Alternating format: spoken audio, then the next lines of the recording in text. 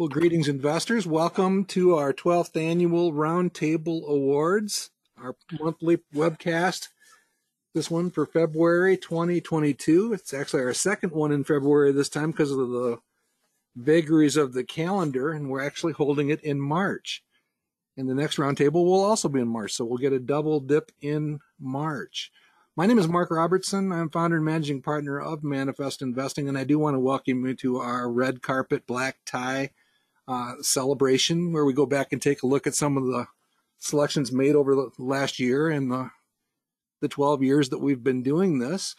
And before we get started, I just want to go down and talk about uh, some wonderful investing educators who just love to share their thoughts and ideas.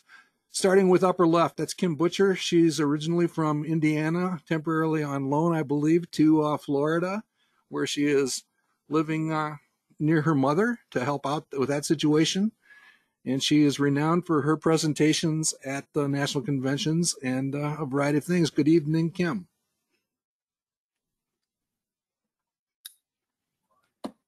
She probably muted herself. I would continue, Mark. Uh, she's not muted, but uh, she's maybe with her. She's maybe had to step away. Pulled so, away. Well, that voice you hear is Ken Kavula, the guy with the horn there. He's our uh, celebrated raconteur of investing. Good evening, Ken.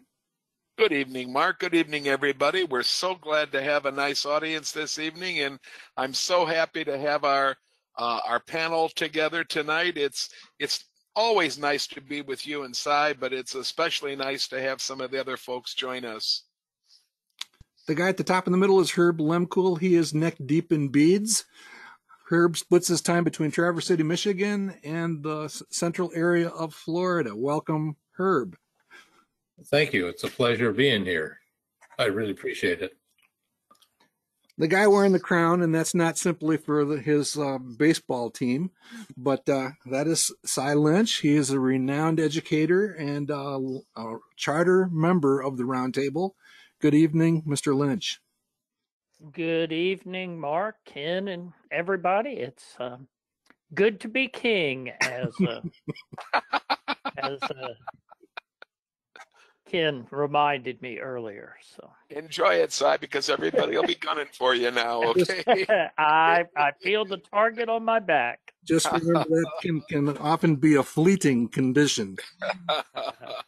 All right, and next on our list is Susan Maciolek. Susan is uh, a longtime volunteer and, and works a lot with investors. She's also one of the champions of the Bauer City Ladies, one of the top performing uh, women's clubs in southern South Central Wisconsin, and uh, quite a track record as an investor. And they've they're just knocking it out of the park.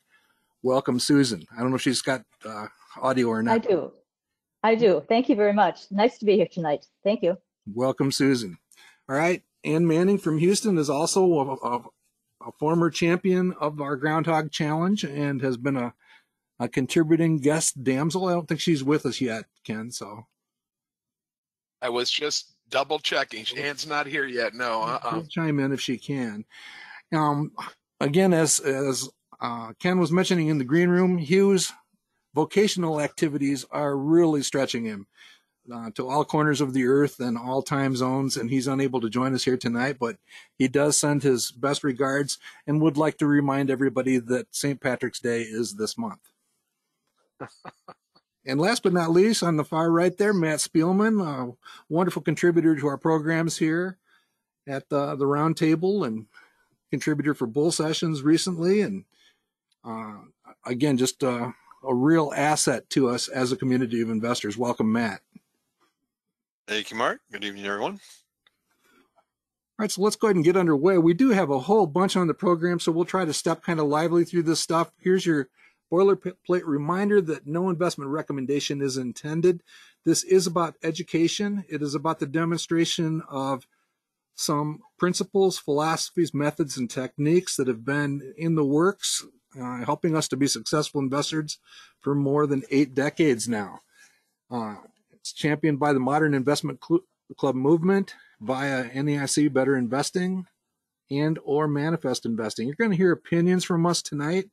Please do your own homework. We do try to disclose when we hold things in our personal portfolios. Try to remember to do that anyhow. If you'd like to have a reminder about these types of events, send an email to ncavula1 at comcast.net. If you'd like copies of the slides, or if you have feedback or follow-up questions, that is my email address, markr at manifestinvesting.com. Please reach out if you need to. Here's our quick agenda for this evening. Uh, again, welcome. If you're new here, we do try to keep it fairly informal. As Ken mentioned, we sometimes will field questions. Tonight's not one of those nights because we do have quite a full agenda, but we do stick around for a Q&A as it says down there at the bottom. Um, but welcome and uh, welcome back to all the familiar names and faces that we see in the attendance rolls also. We will go through and talk about our Golden Knight statues here in a minute. We'll take, talk about our performance results. Won't have any hot, hot seat stocks tonight, just due to the nature of the program. Frankly, we don't have any. Uh, you can see the six stock presentations that we'll be doing. A couple of them will be fairly quick, as Ken has already warned you, because they're re- repeat selections. And uh, we do have a couple new selections on there, and we'll get to those. We do an audience poll at the end. So you'll get to actually vote, even if you're here for the first time, vote for the company of your choosing. And uh, I'm not sure it's all that likely that we'll have time for Q&A, but if we do, we will make time. Um, any other comments there, Ken? Yeah, is Cy going to be talking about EPAM a little bit, about what's happening there? Yeah, that'll come up. Uh, we've had quite a quite a dive down. That's that's the one stock that actually has had the most impact in the in the portfolio. So we'll ask him for a few comments on that. Good, thank you. All right, so let's go ahead and get started. Just as a reminder, we've been doing this monthly since July 2010. Uh, we just simply want to take and share an idea and the study of that idea with the audience. Uh, we do uh, encourage less traditional stocks, referred to as non-core selections. We do try to build a portfolio and we do keep track. We want to beat the Wilshire 5000 by five percentage points. And we'd like to see the majority of our selections actually outperform the index. So that's what we've been doing uh, for, again, nearly 12 years. Here's our actual results. This is really what matters. The stuff that you're about to see is what adds up to this. Um, that red dotted line across the middle is that five percentage point advantage to the market. Think of this as a chart of time versus how much did we beat the market by on the y axis. And again, we're aiming to beat it by five. To date, we've actually checked in at 17.2%. Uh, that's the actual return, the absolute return, 17.2, during a period when the market doing mirroring investments did 12.5. So you can see we're actually back to pretty close to that 5% target. We were above it for quite some time. We'd like to return. Over half of our picks have outperformed from the time of selection, so things are going pretty good. We'll come back to this and, and reinforce. Any thoughts?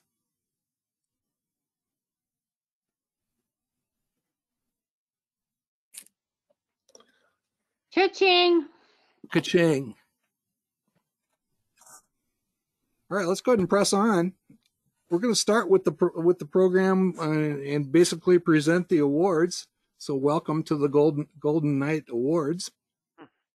Mark, and if you'd like to welcome Anne to the group, she is here and in the back room right now. Uh, Anne, you're muted, but if you'd like to unmute and just say hi to the audience, we'd we'd love to have you do that. And we're so happy you're able to make it with us. Good evening, Anne. She's the one on the lower left there. Hope you all are doing well. Well, she's unmuted, but we're not hearing anything. So let's continue, Mark, okay? Okay. All right, here's the awards we're going to cover here over the next couple of minutes. We do best selection for the year, the year being 2021, best selection all time. And then we also look at accuracy. That's whether the pick outperformed the market after it was selected both for the year and for all time.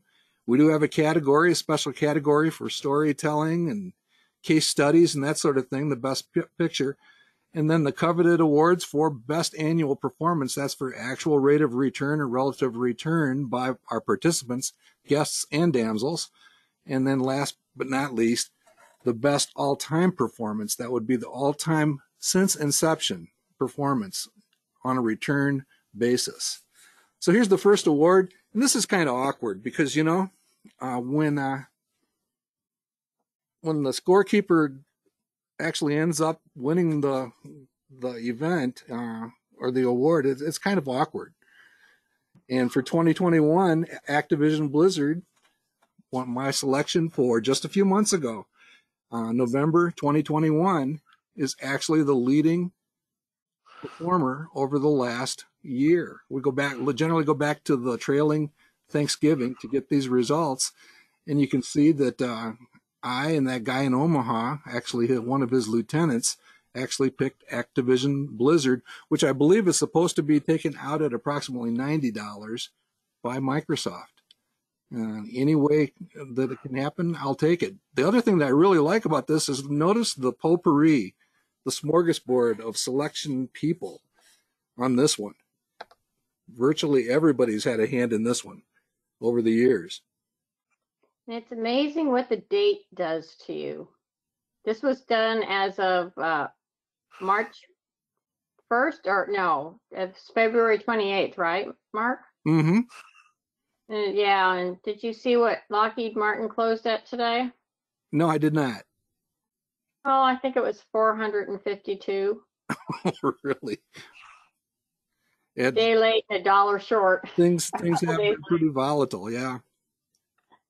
Course, Axos and Regeneron were very good to us. Uh, Herb's Nvidia, pretty good over the last year. Those banking stocks kicked into gear, Ken, and actually served us pretty well.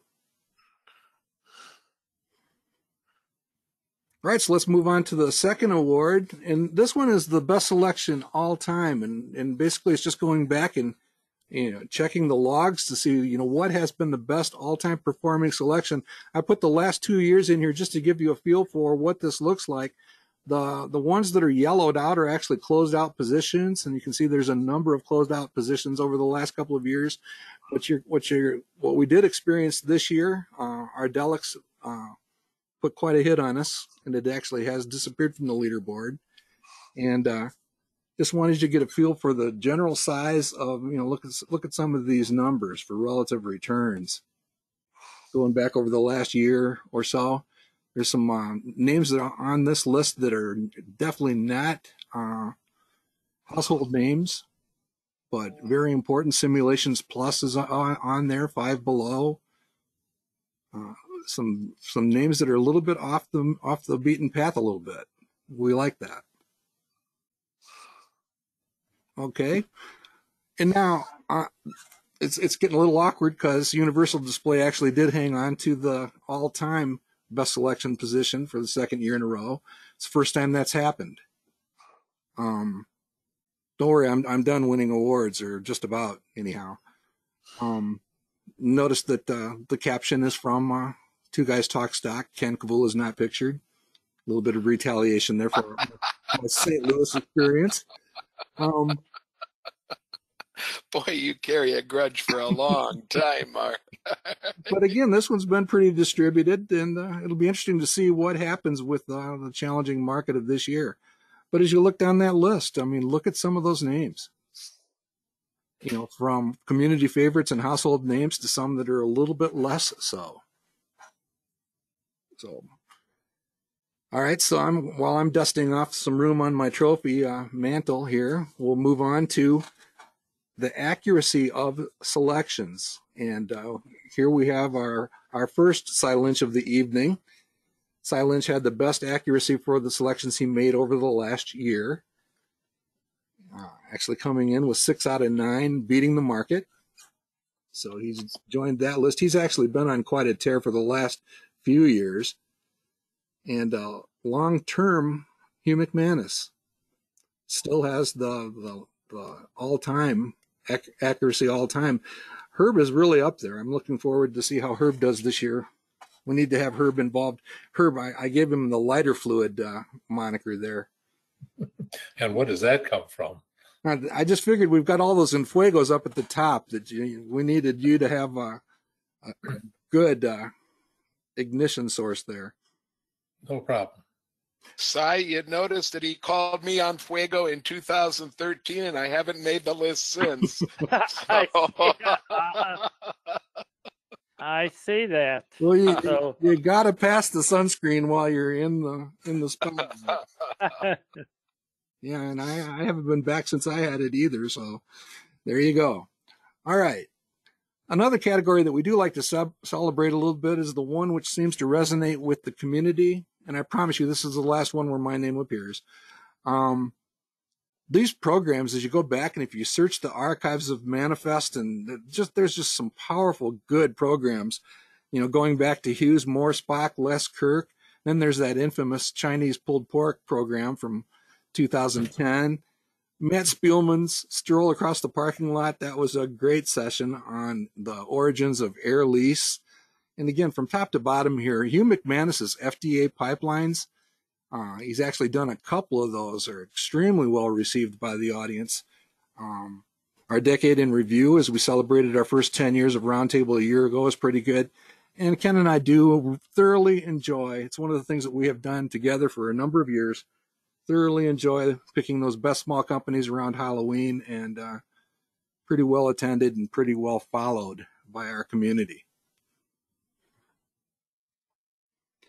All right. Any other thoughts on that, Ken? Nope. Uh, I'm uh, so far. I'm I'm not seeing any real surprises in in what's going on.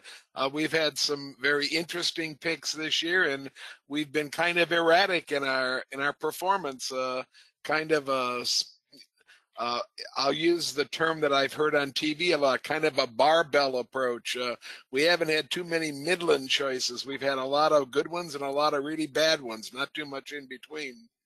Yeah, that's kind of typical for most years. We have beaten the market for seven years running, and I'm knocking on wood because don't want to jinx that.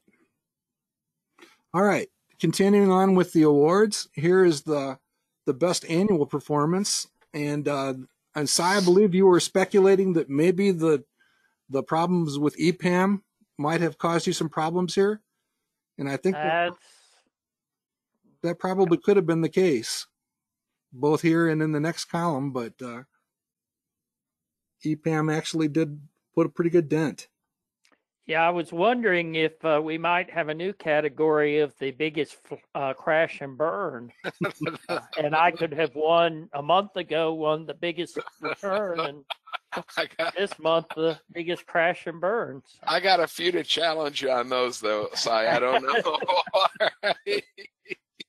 Yeah, and then Fuego's on there too. Um, but but again, Hugh, we wish you could be with us more often. Uh, I mean, he does pick some unusual stocks along the way, but you know, here's a case where BP came home to roost. Amgen has done fairly well, and in a year that was fairly challenging, he did manage to, to um, barely edge out Cy for this one. Cy was in the running for a, a second consecutive one here. All right. And here's our all-time leader. Uh, Cy has had a number of good years in a row, and and I I think uh, his approach to investing, as I've watched him over the years, is is really tortoise-like, and I mean that in the most respectful way possible. And it's it's really kind of fascinating to see uh, the long-term results percolating, and he, like I say, he's had two or three spectacular years, and uh, that is uh that is not photoshopped. He actually was on home plate at Atlanta Stadium. So Cy will let you tell us a little bit about that and just investing in general. Um, congratulations. well, thank you, and and I will take tortoise like as a as as a compliment because, as we all know, uh, I do preach patience, and we we need to to watch watch that. And in some ways, uh, I guess another uh, in the last month, really the last couple of weeks, uh, an example perhaps of of a, a barnstormer uh, turning down and uh, something that's bounced around a bit. Uh, uh, but certainly an example of patience is the cognizant. Um, again, I guess I would win the most selected award probably for cognizant. Um, but again, about a month ago, cognizant had uh, done quite well, and it's been hit relatively hard um, uh, in the last uh, last month, and hopefully can turn around. Um, you know, uh, but the uh, my experience there uh, in uh, that I get that was Turner Field, as I recall, which is the previous Brave stadium. I was selected as the season ticket holder of the night and got to go down and deliver the lineup card and meet the uh, opposing uh, managers and the umpires and get my picture taken. So that was was quite a blast uh, doing that. So I'm glad that you brought that out and gave me good memories. And I'll hush now so we can get on with the great presentations of next year's winners that Okay. we'll And you, you need to get back to work convincing our baseball players to return from whatever it is they're doing these days. Oh man, yes, I'm not happy on that, but like I said, I'll keep my mouth shut so we can keep going. okay, congratulations. Thank you. right. Here's our Fat Tuesday moment. Let the good times roll. Those are punchkis for those of you that are familiar with that tradition, here at least here in the Upper Midwest. And again, here's just our reminder of uh, how the performance has gone over the years. It's actually been showing signs of life here the last uh, a few months. Here's the actual portfolio. These are the top 20 holdings in the portfolio, the tracking portfolio. And uh, you can actually access the entire portfolio, which is, oh, I'd say approximately 70 positions um, using that public link. The way that you read this list is anytime that uh, a stock is presented by either a knight or a damsel or selected by the audience, we invest $1,000 into it. So in this case, Microsoft appears up here in this list uh, as being selected five times. That means five a total of five thousand dollars has been invested in Microsoft. That five thousand dollars has grown to become that number. So that's actually pretty special. Uh, as I was just talking about, Cognizant uh, putting in a few strong days. Uh, EPAM was third, and you can see that they've actually dropped down here. But from top to bottom, you can basically decode that and see uh, what type of companies have been selected. Again, quite a few, what most people would consider blue chip core holdings, but there are a few. Uh, We did, uh, we did sell Apple, otherwise that would have been up there too. yes, You pulled the trigger on it too fast. probably did. Yep. We were certainly got into it at the right time, Yep, as we'll see. But Costco is a single time selection that's now worth nearly $11,000. Uh, good, good, clean fun all around. So that's how you can actually take a look at that. Um, again, with a number of repeats showing up at the top. We really don't have any decisions to make with respect to selling or divesting here tonight. The portfolio is in pretty decent shape, decent par, could be a little bit higher. We continue to hope for uh, adding good uh, return candidates to it and we're keeping that number up. Quality's good, growth is good, could be a tiny bit higher. The companies with the lowest return forecasts are all pretty much core holdings, blue chip companies, and we wouldn't sell them unless we needed to improve the portfolio. The only reason for selling them unilaterally on a case by case would be if their projected annual return basically went sub zero or less than money market rates. We do have a few companies misbehaving that uh, we're keeping an eye on, and there are no red hot selections with the exception of Lockheed Martin. There's your price there, Kim. Yeah. Wow. That's up like 10% in a day. So, really, no selling decisions. What we did talk about, uh, maybe we can give a little bit of background on what's going here. Uh, either Ken or Cy or anybody that's taking a closer look. What are your thoughts on the, the problems at EPAM, Cy? There we go. Need to unmute uh, myself. I, I think it's one of those situations that we're just going to have to uh, uh, watch and see how things shake out. Um, normally, it's the sort of situation that I would um say is market overreaction to an immediate event. Uh, probably if, and, and let me, for those of you who don't know, uh, let me mention uh, really there's two major issues with EPAM relating uh, or arising from the uh, Russian invasion of Ukraine and that unrest. Um, Russia accounts for about 4%, uh, as I understand it, of revenues for EPAM. That I think would definitely be an overreaction, e- even if those revenues went away and, um, you know, there was some concern over uh, Eastern European connection or, or just some broken relationships. Uh, I think the, the stock fall is way overblown. The bigger problem is that much of EPAM's workforce, their actual programmers and uh, computer operators, are um, Eastern European and, in particular, Ukraine. So, right now, the company is in the uh, process of trying to evacuate uh, their workers from Ukraine or shift them to safer areas. The company issued a press release on that yesterday uh, and withdrew their guidance. So really, until that is um, you know worked out and handled, um, you know who knows what's going to happen to the to the company because of course their ability to work is is drastically impacted. But I think again, long range, it's going to turn around. It's just a matter of uh, what's going to be the near term impact and how bad. So if, if Um, you were thinking about this as a terminal versus temporary condition, what type, what's the main perspective you would have on? I I would still I would still um uh lean lean mostly mostly temporary because they they do have the Ukrainian workforce and that I think is is a major issue but that's not where all their their employees are and they've already started trying to hire in their other service centers throughout the world.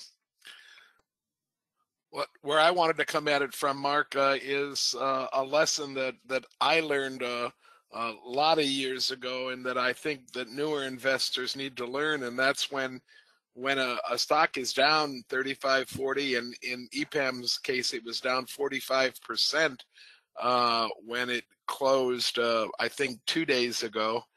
Uh, the time to sell it is not at that point. and the time if you're gonna if you're to sell it, uh, you know, wait a week, give it a week, give it two weeks even, because most of these stocks that take those precipitous drops do have a little bit of bounce back.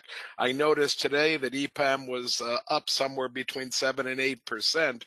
Uh, and you know, in an investment, seven or eight percent is a significant amount.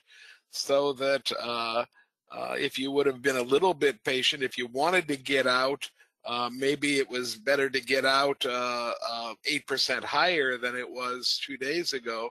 Uh, you know, most of the damage is done when it when it makes that kind of a, a downward movement. And to get with your broker and put it on sale the minute the market opens the very next day, I think is is the exact opposite kind of thing to do when you're managing a portfolio.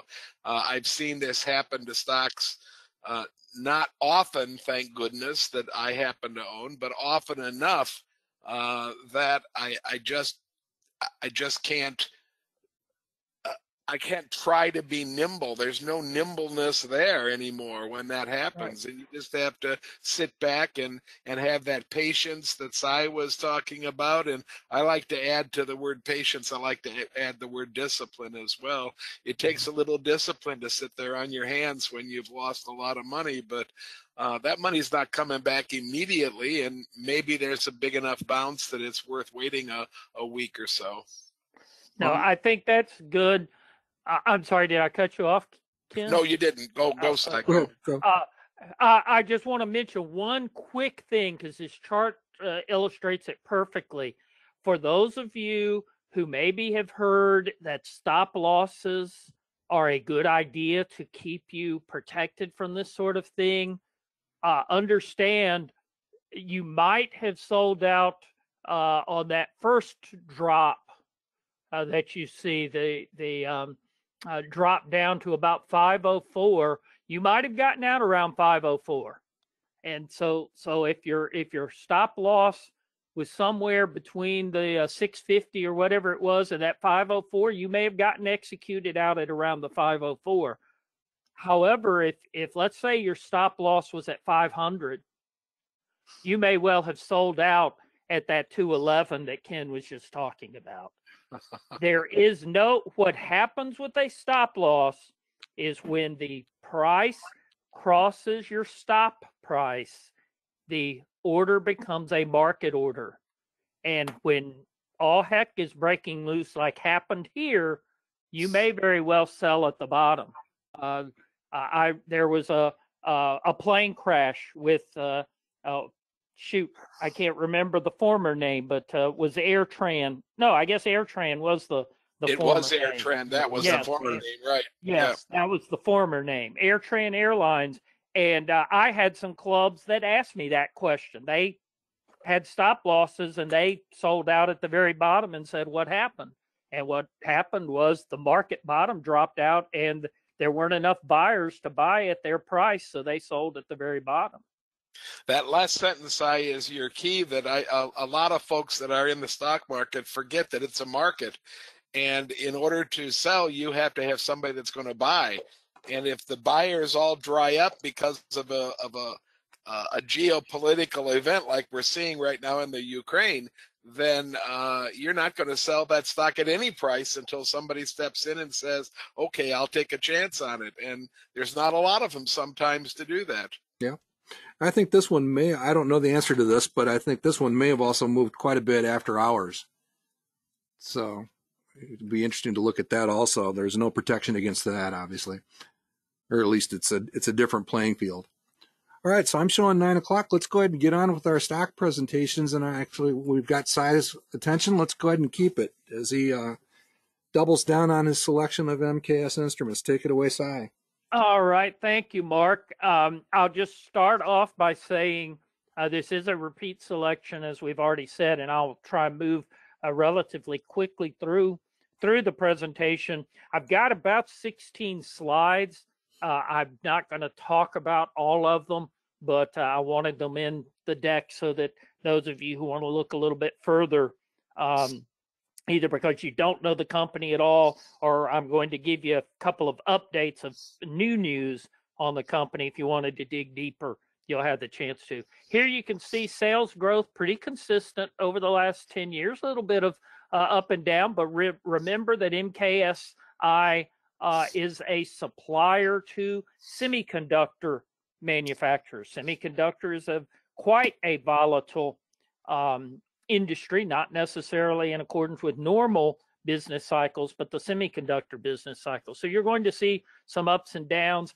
The um, earnings per share line disconnects from sales a little bit, uh, both again because of the cyclical nature of the business, but also because uh, some of that is due to acquisition expenses. Because again, remember, these are as reported earnings and not uh, continuing operations or normalized earnings that Morningstar uses.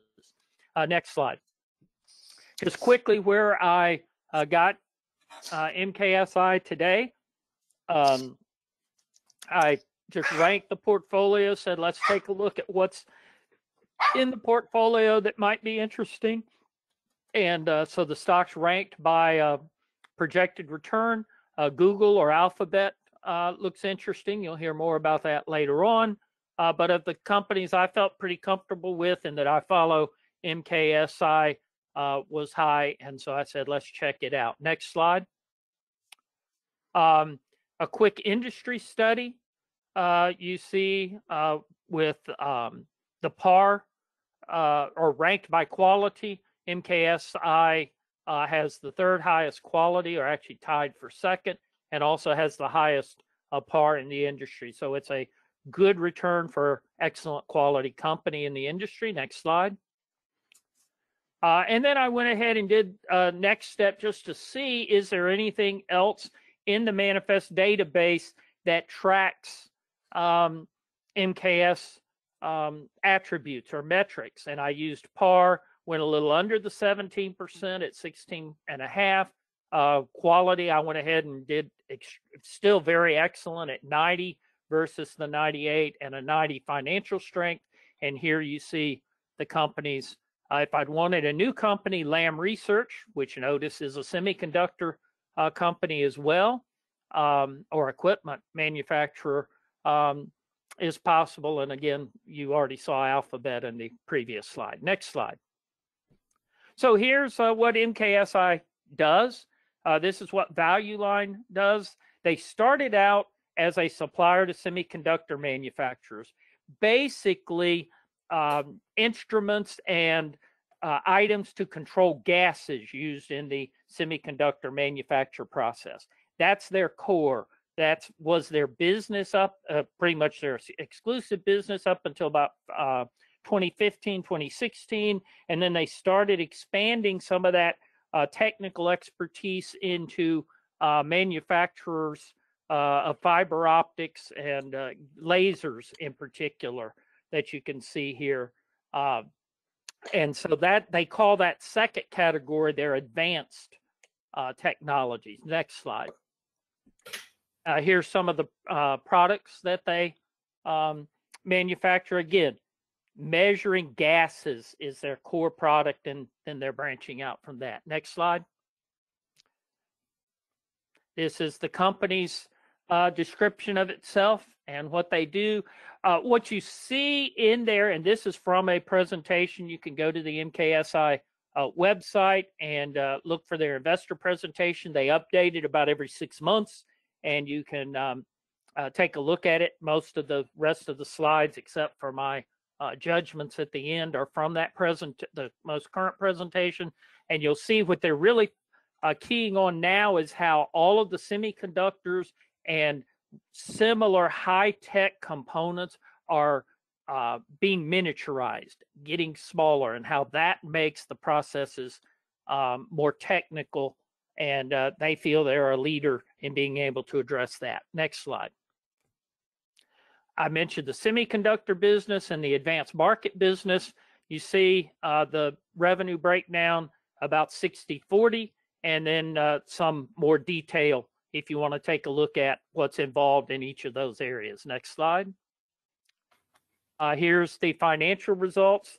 Re remember, I mentioned 2015 was about when they started moving out of uh, exclusively semiconductors into what they call the advanced markets. Uh, and they seek to be leaders in their uh, field. I particularly like that uh, line that you see about um, the middle of this chart, leading product categories. That's where they rank either first or second in market share uh, by their estimation. And notice how they're up to 16 markets uh, at by the end of fiscal 2021 in their estimates. Next slide. Uh, here's uh, just the semiconductor, what the company has done historically. Um, they have outperformed the uh, WFE, the Wafer Fabrication Index. That's an index for um, semiconductor manufacturing. Uh, they've outperformed that um, over the last, um, I think it's about eight years that they show in their charts, and they have grown that the delta between the WFE and their semiconductor growth has increased over the last few years. So they're round soundly capturing more of the potential market there in semiconductors. And then here's the company's view of the advanced markets, which again is based largely on laser. Uh, and again, you see right there hyperconnectivity miniaturization. Uh, so, as I mentioned, they're really big on this miniaturizing uh, trend. Next slide. Uh, here's the big news. Um, the company is uh, has a pending acquisition uh, of um, Atotech, which is a chemistry solutions provider. Uh, it's a new area for the company. It is not directly related to what they are doing now, which is is hardware, if you will, related. You know, manufa- You know, I almost said brick and mortar again. I don't know that explains the hardware much more. You know, machinery or gauges, you know, metal, tangible, you know, hard things, and um, that support the laser and semiconductor industries. Atotech uh, provides chemistries and fluids cleansing and, and etching fluids and that sort of thing, again, for the same markets. And so they're seeking to um, combine those two companies and it will actually more than double the company in size as we'll see in a moment. Next slide. Uh, they're calling this uh, idea of optimize the interconnect. In other words, this graph kind of tries to explain a little bit, uh, both graphically and in some uh, technical detail, how they service some of the same suppliers, and they hope to be able to um, blend the expertise and the customer bases together. Next slide. Uh, this, this I'm not going to read to you, but this is Value Line's um, take on the acquisition, which by and large um, quotes uh, management's outlook. Uh, the Value Line actually, at that when it was published in late December, said that the um, closing was expected by the year end of the year, which was original, but uh, because of some uh, continued negotiations with the Chinese regulatory authorities. Um, it uh, the company expects it to close the end of the first quarter of this year. The big key is, as I already mentioned, uh, 3.8 billion in revenue increase. That basically doubles the size of the company, and it will uh, be accretive to the bottom line within the first year. Uh, notice also that none of Value Line's projections nor my projections directly take into account the acquisition yet. Next slide. Um, the key to remember if you say, gee, this is a huge acquisition and it's probably the biggest that company has done, that MKSI has done, but here is their record of successful acquisitions over the last 20 years. It's a key part of their strategy, again, especially since 2016 that is expanding into related areas. And uh, so the company knows what they're doing when it comes to acquiring and then implementing or integrating. Next slide. Here's just a, a summary slide again on how they believe that they're ready to um, uh, win this miniaturization fight. Next slide. And now the bottom line, almost literally, next slide is completely literally, I'm projecting about a 12% uh, growth rate. Um, uh, the uh, pre-tax profit profit margins to run about where they are currently. It's a little above the average for the last five years, uh, which leads to a $17 EPS. Next um, slide.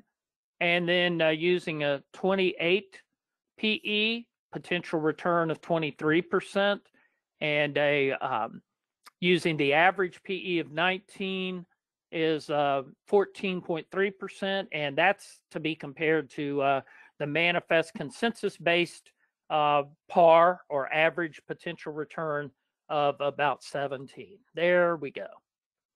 All right. Thanks. Thank you guys, and uh, I'll double down. okay. Thank you. All right, we'll switch gears and go to electronic payments with Kim. Hello, everybody. Um, I picked PayPal, and since then it's fallen. So the 52-week low is 94.50, and it is starting to climb back up. So the big question is, what happened? Next slide. Um, they had a solid year last year. Um, you look at all of this and you say, oh my goodness, they had a total payment volume of uh, 339 billion, which was 23% on uh, on spot and uh, FX neutral basis, and you know they had total payment volume of uh, 1.25 trillion with a big fat T. That is just amazing with free cash flow of 5.4 billion. So I'm always talking about I like companies with lots of free cash flow and little debt.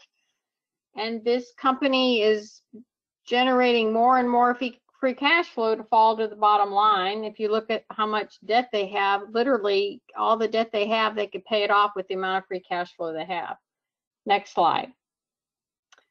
Um, for the year 2021, um, their net revenues were up 17%, operating income up 30%, earnings per share was down 1%, and that was because they released some funds um, for, uh, oh, crap, I have it here in my notes, but um, It was only down 1% and their operating income was 17%, earnings per share for non-GAAP was 19%.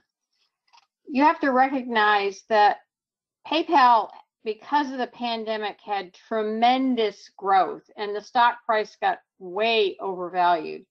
And when it came back down to a reasonable amount, um, the RSI was dropping and it was getting to be reasonable. But then ultimately what happened when they had their quarterly um, review, they, they changed some of their guidance. Next slide. And as you can see, one of the things the big circle is their new net active accounts dropped 33%. And if you look at the transcript for the company, they take all the data from every transaction, location, was it the phone, was it the computer, uh, what was the amount, was this somebody who has used uh, PayPal frequently before? And ultimately from that data, because this is a data driven company, like a lot of things are anymore, but they recognized they had done some incentivizing to get new members. What they found out was in trying to get those new members, they didn't make a whole lot of money off of them because it turns out uh, one third of the clients that they have actually generate the most transactions, and those um, accounts are up to now having 45 transactions per account. So they recognize it's much better to get those members who use PayPal to increase the amount of transactions they have because that's where they get the most return on their investment rather than just getting more members to use PayPal overall. So this statistic made them ultimately, you can see their new accounts have gone down, but their volume went up, revenues were up, their uh, net GAAP uh, of earnings per share was up 19%. Free cash flow is up. I love free cash.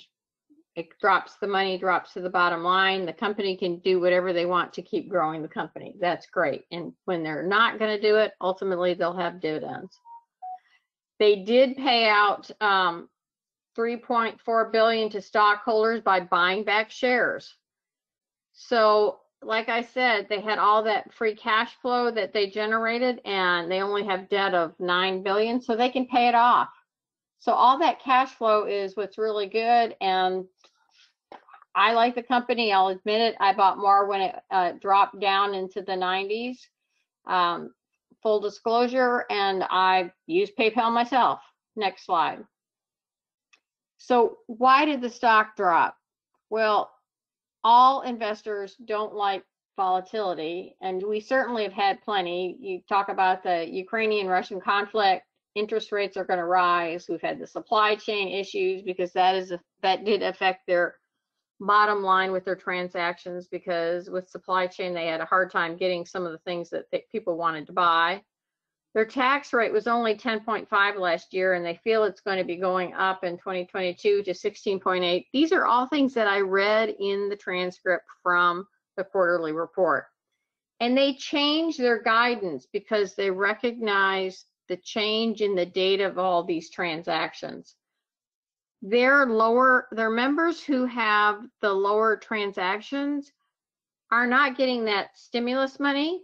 Inflation has gone up 30%, 40%, and they don't have as much free cash around to spend on. So they reduced their revenue growth expectation from 18% to 15 to 17%. Well, the market slammed them hard and dropped the stock price. I think it was another 25 to 30% after they revised their um, estimations of what their uh, guidance was. So truthfully, as investors, we need to love volatility because when we have volatility, we can find those great stocks. We can buy them when they're down. Next slide. Here is the par of um, what PayPal could easily be. Um, if you use that lower growth rate of what they're expecting of 15%, their protected, uh, pr projected annual return is going to be 14%. Um, with what's going on with the volatility in the world, in the markets, I think a 14% return on your money is going to be really great. Um, it's a sit back and relax for me to watch because I recognize myself. I'm using the product more. I am personally having more transactions. I will admit maybe I'm biased, but I thought all of you should recognize that this is something that you could have in your portfolio and electronic payments are only getting more and more, especially since the pandemic. So I hope you'd consider this for your portfolio. Thank you. All right, Thanks, Kim. All right, here's a newcomer, uh, Victory Capital. Take us away, Matt.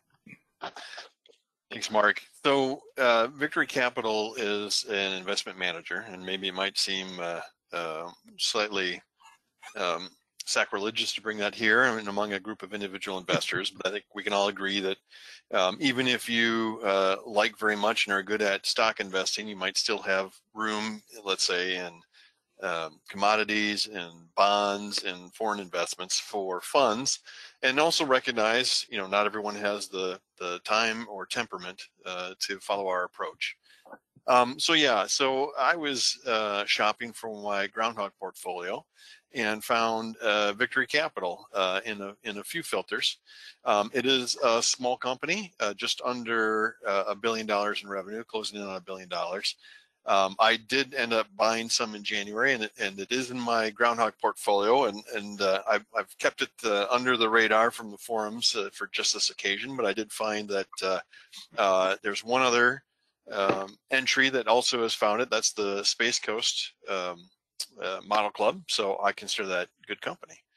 Um, it's funny to say as a small company that's been in operation for 100 years, you start to wonder about its growth, but uh, it, has a, a new uh, chapter in life as they had a management buyout from KeyCorp, the, the parent company of KeyBank in Cleveland, uh, in 2013. And so they were 144 employees with uh, a little over $20 billion assets under management 2013.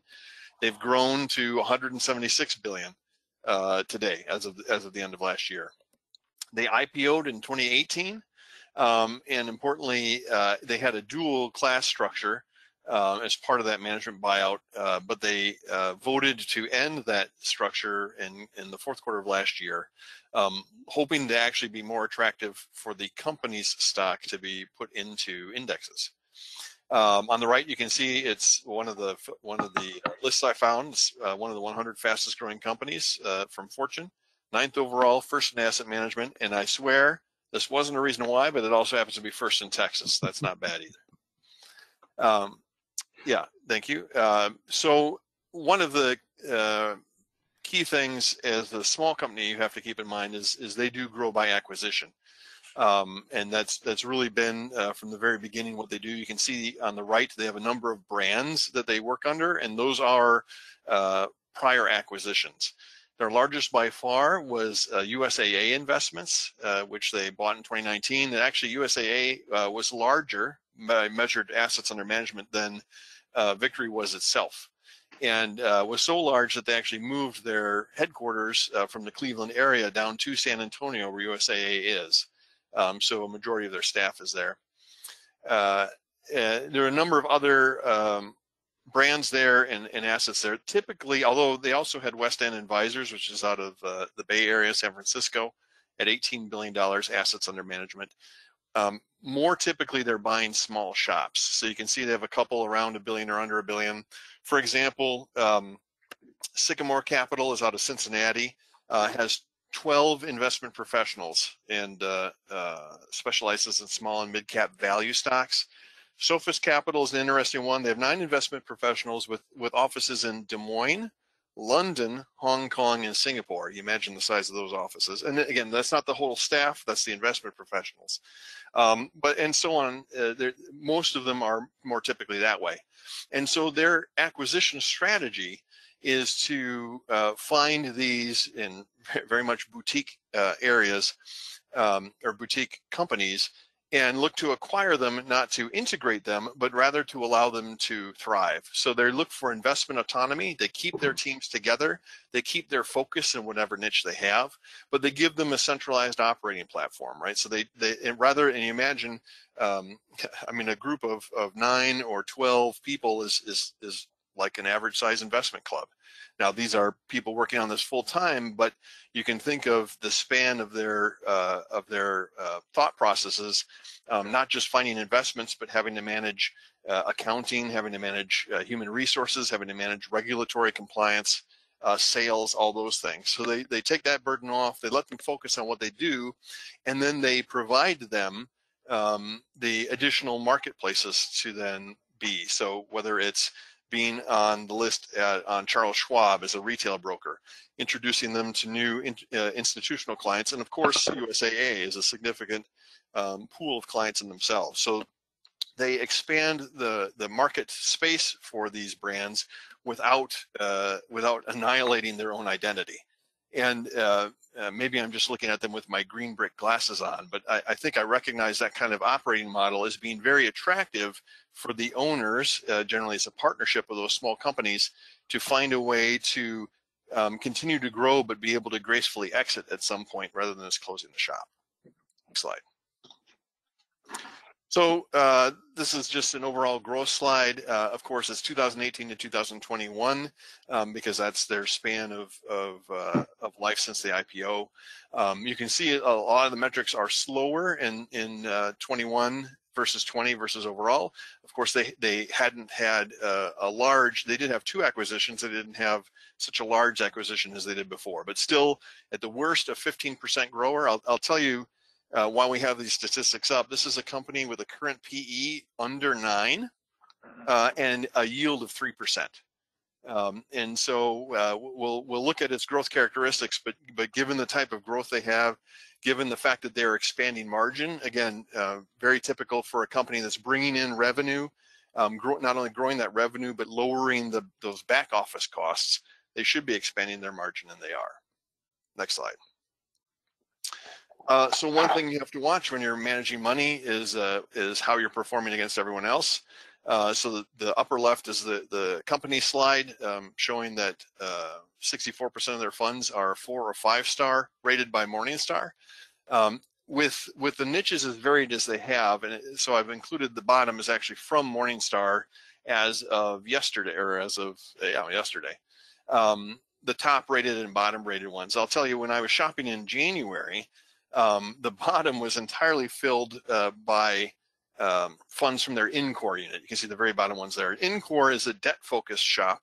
Um, again, one, one, of those smaller sized ones. And in addition to, let's say, uh, run-of-the-mill ones, they, they specialize in debt arbitrage. And you can imagine up and up through the end of December, uh, the arbitrage opportunity uh, in in particularly government debt instruments that paid you know between nothing and next to nothing. Uh, there isn't a lot of space between there. And if you were in Europe, you pay uh, you, you have to look in between nothing and and and uh, even less than nothing.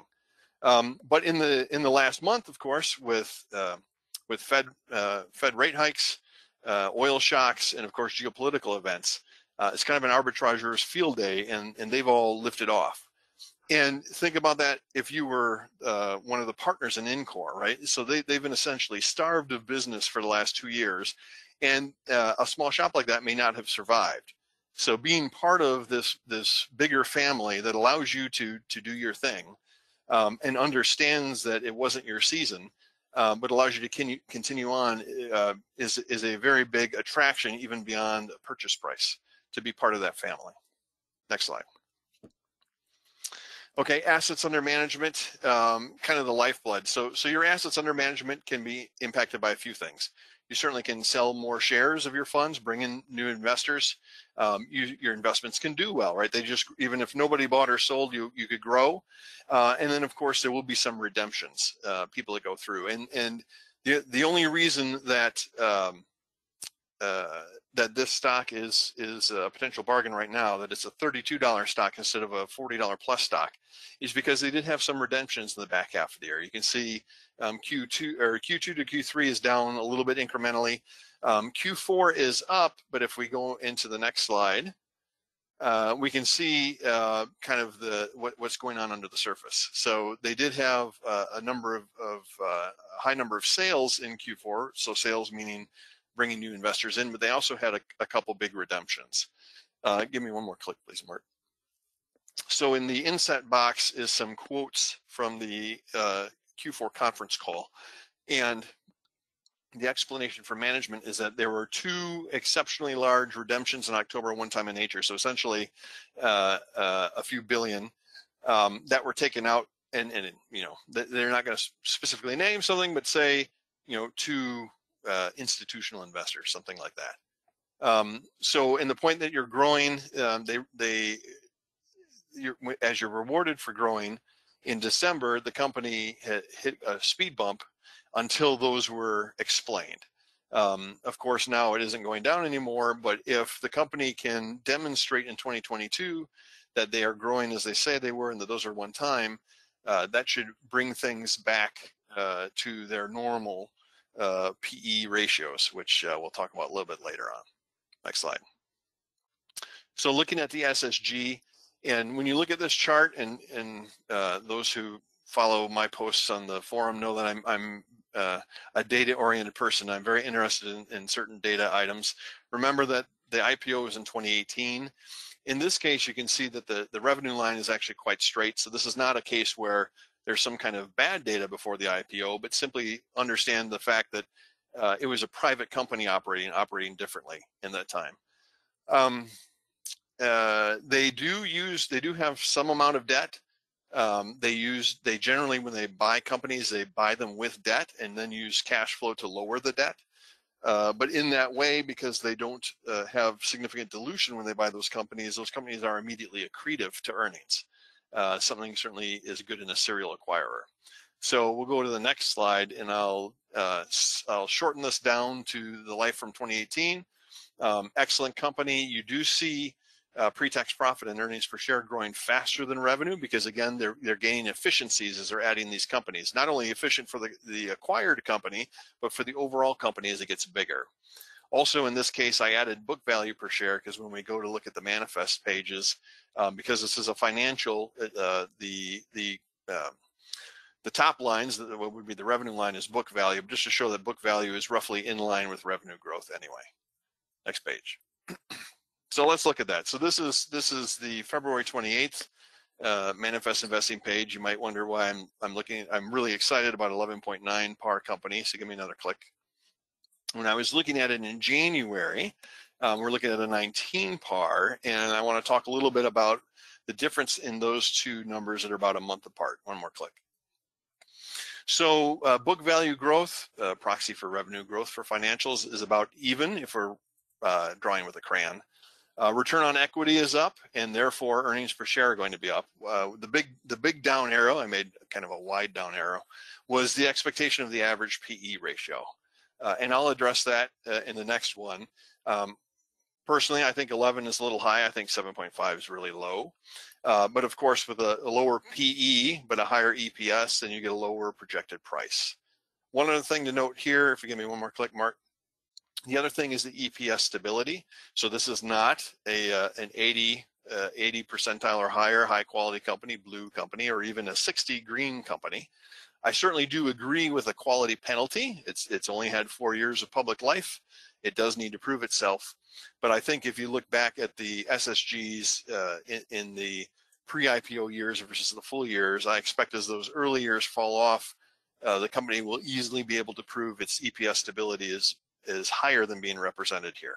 And again, not that this is bad data, it's all true. Um, it's just a matter of the maturity and the, and the fact that it's a public company now. One more slide. Um, so looking at that average PE, if, if I look at the data raw, and there is kind of a funny thing in 2017, uh, the company had earnings but had no price, so it shows zero uh, PE rather than NMF. Uh, that actually doesn't affect the the uh, calculations. That's just an oddity. Um, but but raw with four years shows a 9.7 average. Uh, give me another click. If I become a little conservative and take off uh, the highest high and the highest low, I can get down to 8.6. Uh, whether we should do that or not is is of course itself an issue. And you notice I have not taken off the 3.5 low in 2020, of course, reached in March of 2020, like so many lows of that year. Um, still uh, quite a bit higher than than uh, what's before. One more click, please. Uh, if you remember on, on the prior page, the stock page says 7.5. So obviously with such a short history, um, I'd be reluctant to remove any data.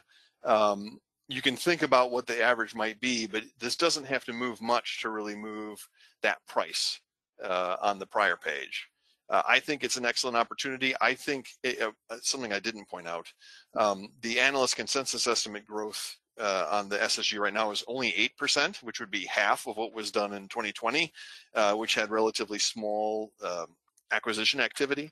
Uh, I might say that that's uh, that might uh, represent uh, organic growth only, um, but really it isn't even that. I, I think that that the analysts are really lowballing growth expectations. I think the Mhm. PE has an opportunity to be higher than than uh, at least is calculated in the manifest page. And as a a new company with the risks associated with it, I think this is in an early growth stage and could be uh, a worthy investment for your for your investigation. Thank you. Thanks, Matt. All right, Ken, I've show us about 10 minutes. So if you can uh, squeeze into five or so, and then we'll do her. I only need a couple. So we'll go ahead and take this away with Google. Well, we were sitting at the bull session this afternoon, and uh, Mark brought this screen up. This was a situational screen uh, that we were showing to our people that come to bull session, and uh, we were looking at stocks with, uh, uh, first of all, met the the the concept of core.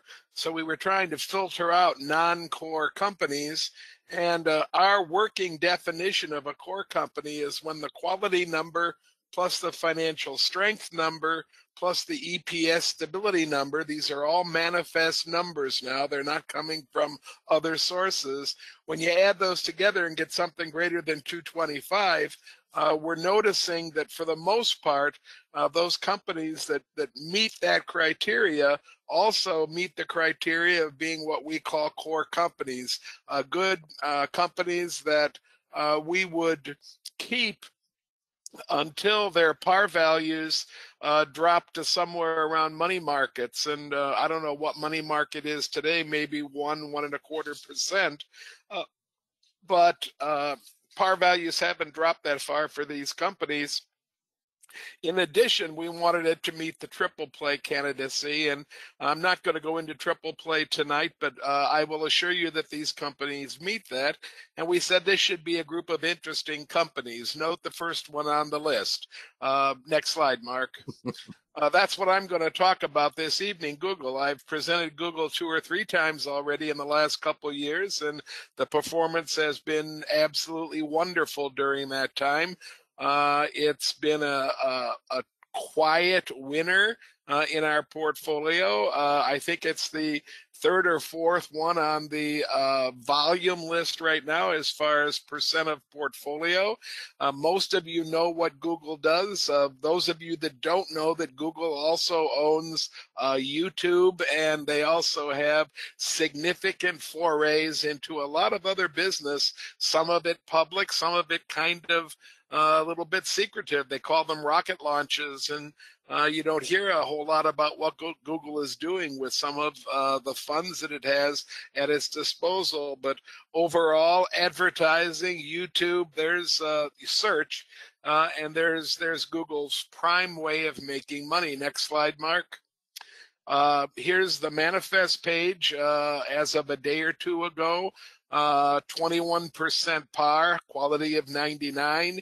Here's the top of the value line sheet.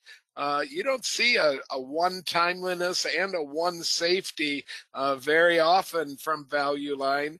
And when you see a one timeliness and a one safety, that's one of the few times I take into account timeliness at all.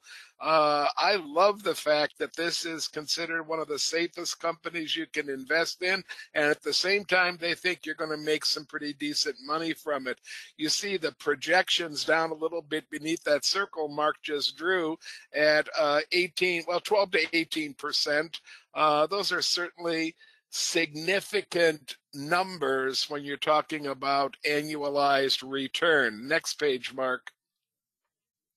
Here's the graph. Uh, you take out 2017 because of the tax cut and jobs act. That was the Trump tax cut. and you take it out because Google had to repatriate money and pay tax on it. And so it's not really uh, data that makes any sense. Uh, we'll knock it out of the PEs when we get there as well. So you you see amazingly consistent growth in sales and in earnings. Uh, the pandemic has only been good uh, to the company. Uh, you notice the extension of the growth.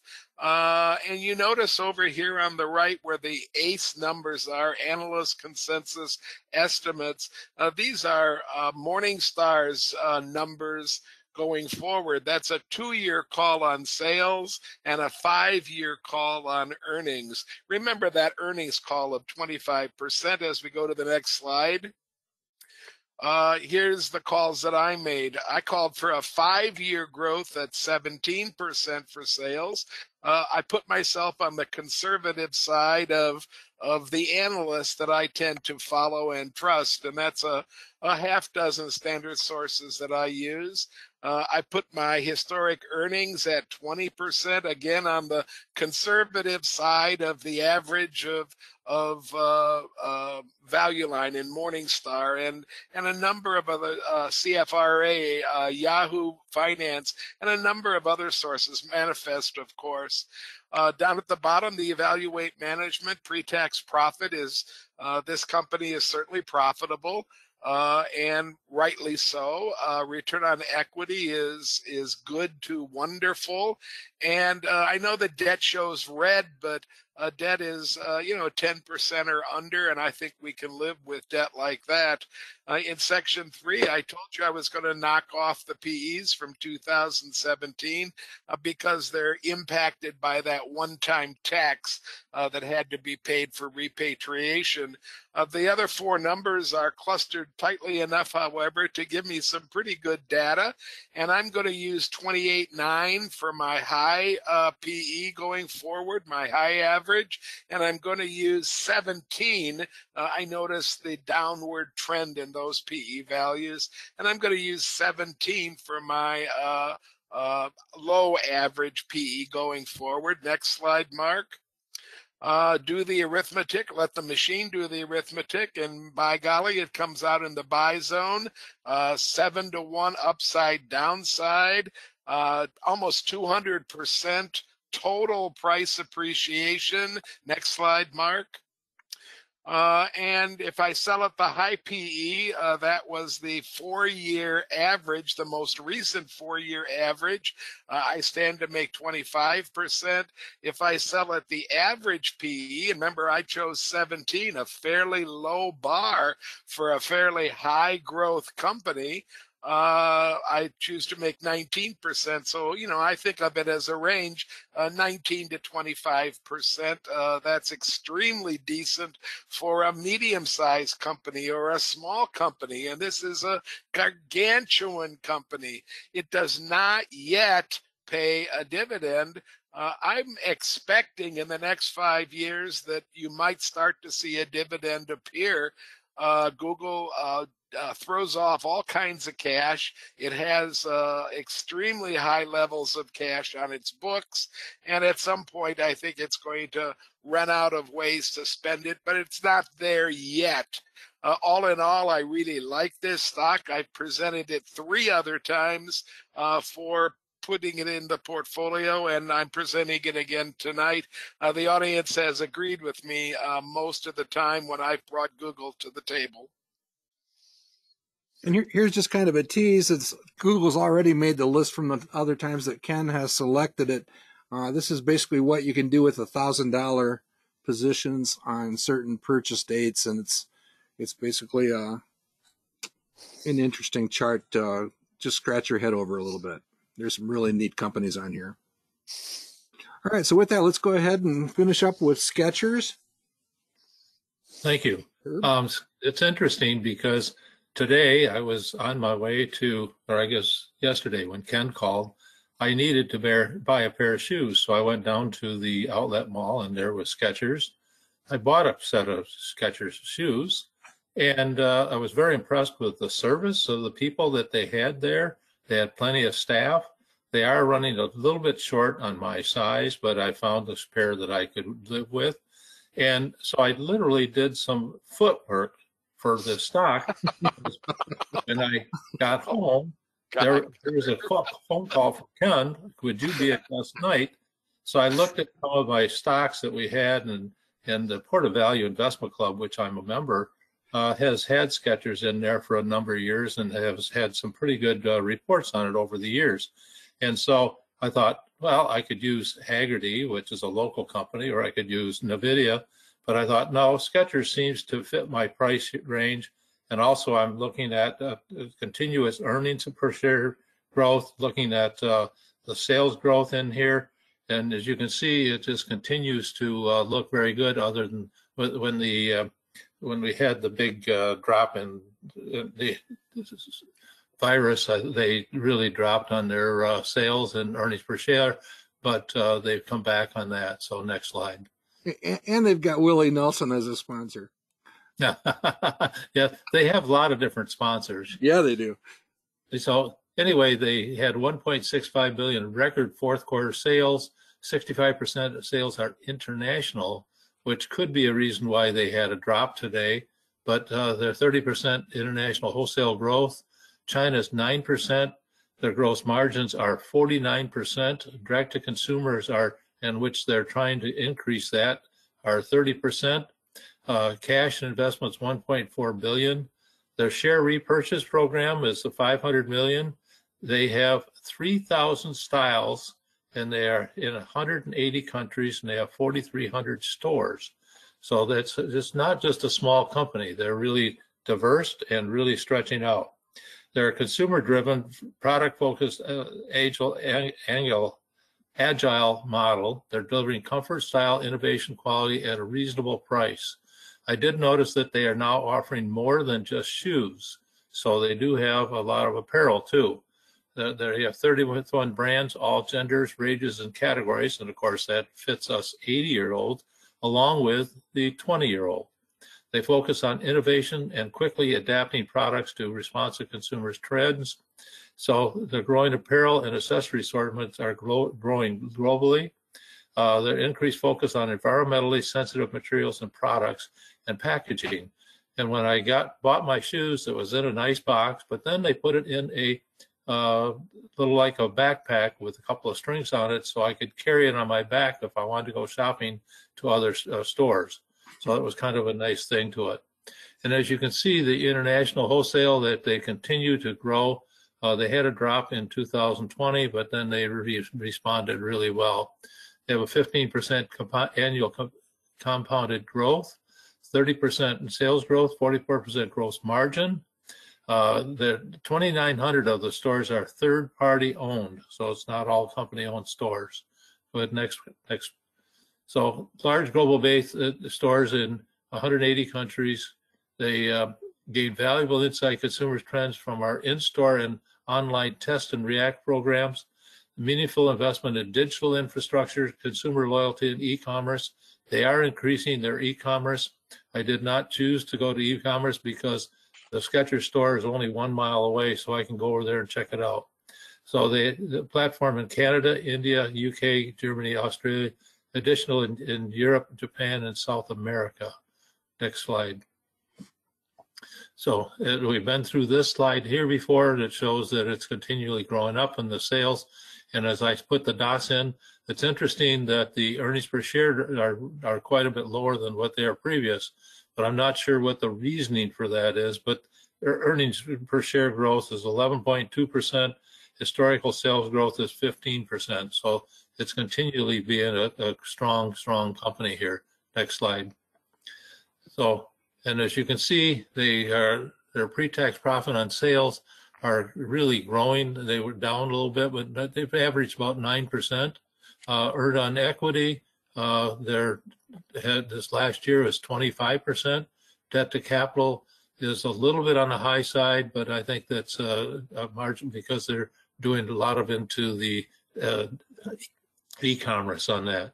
So you can see is a 10% growth on there. Next slide. So as you can see here that uh, the uh, uh average PE is 23.2. The current PE is 10. So and they had a closing price on this one of 47. Today it actually closed at $41.51. So it's it really put it into the major buy zone. So it it had a 16.8% uh, annualized return. Uh, It is a buy and uh, with the, with the drop in the price today, I think this is going to be a very good buy for anybody that wants to get into it. And like I say, our port of value has it, and I am looking at maybe I should buy some of it tomorrow. Okay, thanks, Herb. Plus, they're tracking you now with those new shoes. Yeah, that's right. All right, I'm going to just make a really quick uh, doubling down. It's actually a ninth thing or tenth thing down on Ardelyx. And just a quick update. Uh, you can go back and, and look at last month's report. It's basically the same situation with one thing, couple changes. Uh, the thousand dollars that goes into it tonight will buy another 1,282 shares, driving the cost basis down under two dollars. So we will continue to cheer for this company that is trying to develop an innovative cure for dialysis patients. And uh, the only real changes between this month and last month is uh, it, it has kind of calmed down a little bit. The earnings are comparable between the two, quarter to quarter. You're also seeing a little bit of a stabilization in the revenue. That's that's really not the story. The part of the story is the fact that uh, uh, the rats are jumping off the sinking boat. You have less analysts following the company as time goes by, and uh, it's an interesting story.